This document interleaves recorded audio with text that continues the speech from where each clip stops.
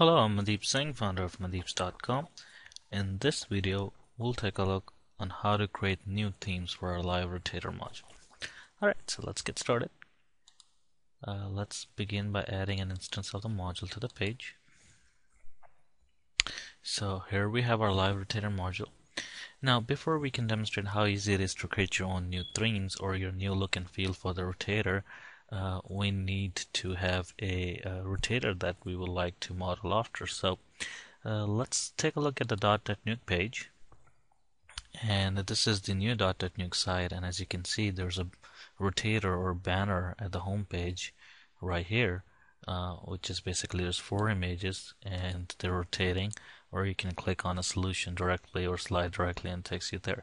So let's see if we can create something like this with Live Rotator and let's see how easy would that be. So let's switch back to our page and let's click on manage slides. So first thing we want to do is go ahead and upload those images. Now of course these will be uh, pre-done for you by your graphics department or someone who manages the images for you. So here we have the images right here. So we've just uploaded them and you can click on an image to see uh, how it looks. Okay, so what I'm going to do is go ahead and uh, uh, go back and see how that would look right now. So there we have our banner to begin with, which is already rotating and it's fading. What we don't have is those nice uh, links at the bottom, which will go ahead and uh, allow us to give us a visual navigation, allow us to click on it, move forward. So let's go ahead and create a new theme. So what does it take to create a new theme?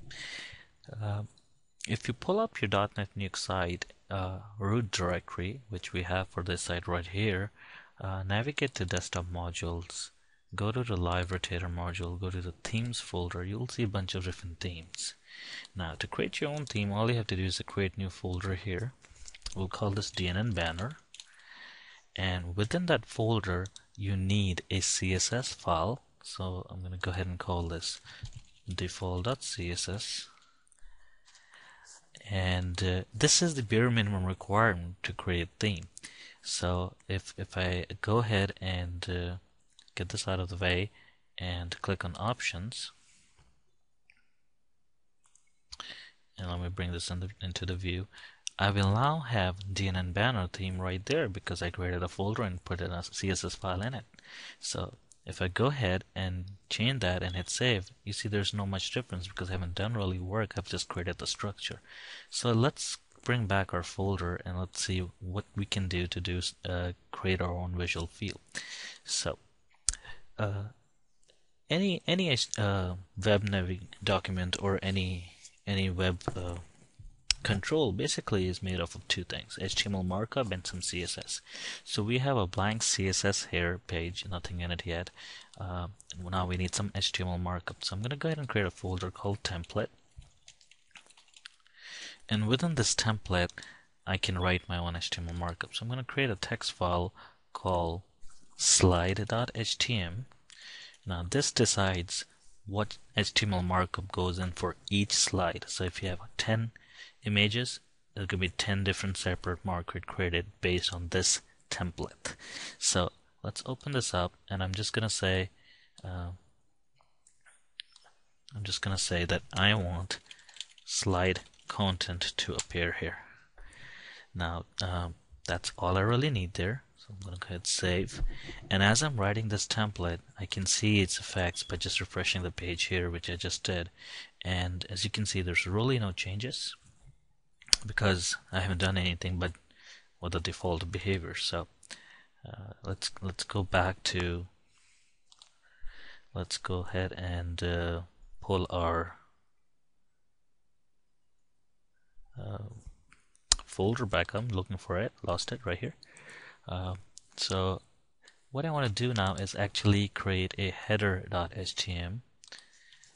So I, I want all my slides to be inside this header and what I'm going to do is basically have a div and all the slides within it so I just pasted this div here and let's see what we did I just created a div with an ID called live rotator and a token called module ID. Now this token at runtime will be automatically replaced with the module ID of that particular module. And I also created a class name. This is uh, the naming scheme that we use and we we ask that you stick to it. The LR lowercase starts for live rotator. The DNN banner is the theme name. That's the temp the folder you created in themes. And default is the skin name, which happens to be the CSS file you created right here. So just stick to that uh, approach. And uh, here we just have a div. I'm going to go ahead and save it. So, of course, if you have a header, we need a closing footer for it. So I'm going to go ahead and create another text file here. I'll just call this footer.htm. So let's open this one up. And in this one, we're going to do a little bit more work. First, the div that I created in the header, I'm going to close that. The second thing I want to do here is uh, actually provide for those navigation links. So I know I'm going to need some kind of unordered list, a UL element. So I'm going to go ahead and create one of those and I'm just going to add it into a div. So I have some code already here in clipboard and let's see what we did. So I just created a div. I gave it a class. Again, I just stick with my naming convention and I just added the word nav nav to it so I can style it using the style sheet. Within that, I have a unordered list to also I give it an ID. Again, I've explained how, how this will get replaced by the module ID. Now within that unordered list, I have another token called slide pager.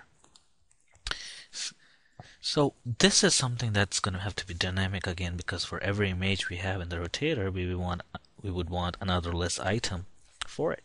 So I'm closing the UL here and I'm closing the div here. So that's all for the footer. Let me go ahead and close that. So now finally we need one more markup and that's going to be called pager.htm because this is where we specify what goes into that UL because that's where we put the token. So let me bring this back up. So what goes into the pagers very simple we just want a list item for each slide and we want a link in it which is not going anywhere to a hash and we want the text of the link to be the, whatever the slide title is so let's go ahead and save this let's see uh, let's refresh the page and let's see what changes this made to our um, our page well at the first glance, we don't see much changes. We just see this unordered list and there's nothing really in it. That's really because we didn't add any titles for our slide. So let's switch to manage slides really quick. And let's just add um, some of these titles to our slides. So I'm going to go ahead and uh, call Explore DotNetNuke. Second one, I'm going to go ahead and call Enterprise Solutions. Then we're going to say .NET Community and lastly I'm going to say the DotNetNuke App Gallery. Okay, so if I switch back, I see that, uh, let me click here. So if I switch back, I see those links here. Again, I see all my markup there. I don't see it in a very nice presentation though, and that's because we haven't touched the style sheet yet.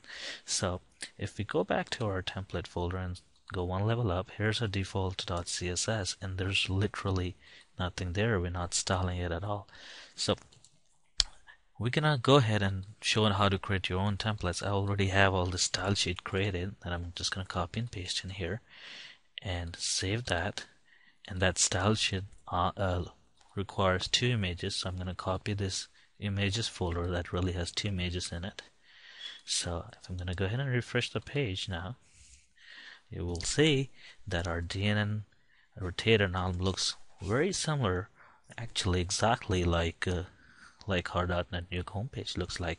The only thing is I got my titles messed up.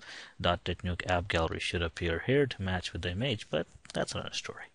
Well, there we have it. It's really that easy to go ahead and create your own look and feel with Live Rotator.